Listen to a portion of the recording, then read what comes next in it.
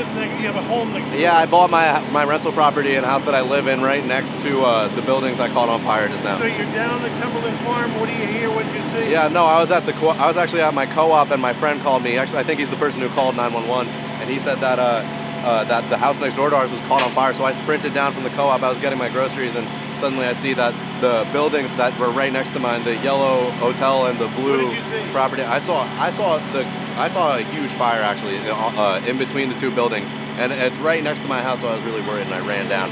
Yeah, Thank you. yeah.